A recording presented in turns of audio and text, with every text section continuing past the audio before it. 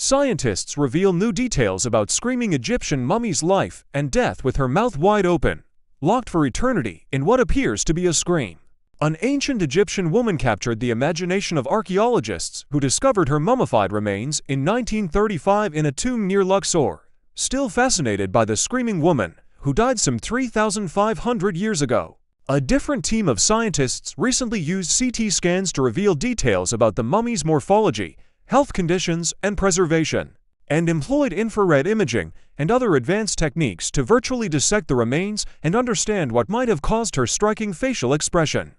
Their findings, published Friday in the journal Frontiers in Medicine, revealed that the woman was 48 years old when she died, based on analysis of a pelvis joint that changes with age. Certain aspects of the process used to mummify her stood out. Her body was embalmed with frankincense and juniper resin, lavish, expensive substances that would have been traded from afar, said study author Sahar Saleem, a professor of radiology at Kasr Al Ainy Hospital at Cairo University, in a statement. Saleem also found no incisions on the body, which was consistent with the assessment made during the original discovery that the brain, diaphragm, heart, lungs, liver, spleen, kidneys, and intestines were still present. The failure to remove internal organs, the study noted, was unusual because the classic method of mummification from that period included the removal of all such organs except the heart.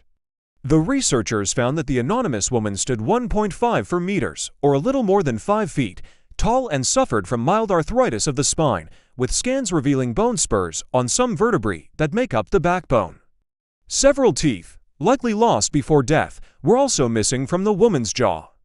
However, the study was not able to determine an exact cause of death. Here we show that she was embalmed with costly, imported embalming material, Saleem said in a news release. This, and the mummy's well-preserved appearance, contradicts the traditional belief that a failure to remove her inner organs implied poor mummification. Only a few ancient Egyptian mummies have been found with their mouths open. The study noted, with embalmers typically wrapping the jawbone and the skull to keep the deceased's mouth shut. What caused the woman's chilling expression isn't clear from the study findings, although the researchers put forward a grisly hypothesis, what mummification techniques reveal. Saleem said the well-preserved nature of the mummy, the rarity and expense of the embalming material, along with other funerary techniques, such as the use of a wig made from a date palm and rings placed on the body, seem to rule out a careless mummification process in which embalmers neglected to close her mouth. The mummy's screaming facial expression could be read as a cadaveric spasm, a rare form of muscular stiffening associated with violent deaths, implying that the woman died screaming from agony or pain, according to the study. It's possible, the study authors suggested, that she was mummified within 18 to 36 hours of death before her body relaxed or decomposed, thus preserving her open mouth position at death. However, a mummy's facial expression does not necessarily indicate how a person was feeling at death, the study noted.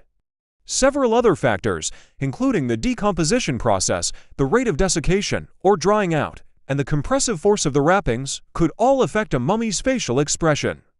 Burial procedures or post-mortem alterations might have contributed to the phenomena of mummies with screaming appearances, the authors noted in the study.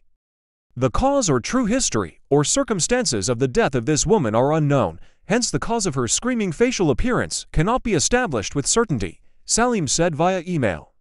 Open-mouthed mummies The screaming woman had been buried beneath the tomb of Senmet, an architect of the temple of Egyptian Queen Hatshepsut 1479 to 1458 BC, who held important positions during her reign.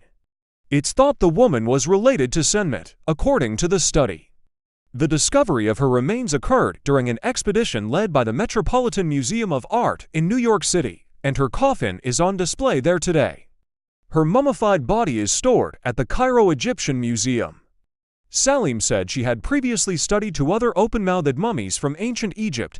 One, a mummy thought to be the remains of a prince known as Pentawere, had his throat slit for his role in assassinating his father, Ramesses III 1185 to 1153 BC.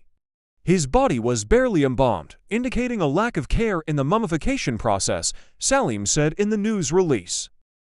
The second mummy was a woman known as Princess Meritamen, who died of a heart attack, and Saleem's analysis suggested her wide mouth was due to a post-mortem contraction or movement of her jaw.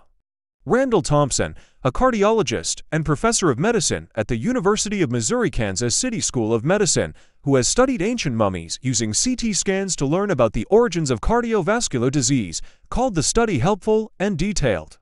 He said the author's preferred explanation for the mummy's open mouth made sense. Their investigation helps us to understand what substances were available in ancient times and how our ancestors used them, said Thompson, who was not involved in the study. More broadly, we can learn much about health and disease from the study of ancient mummies, he added. For example, we have learned that heart disease is not new, as many people used to believe. It is literally older than Moses.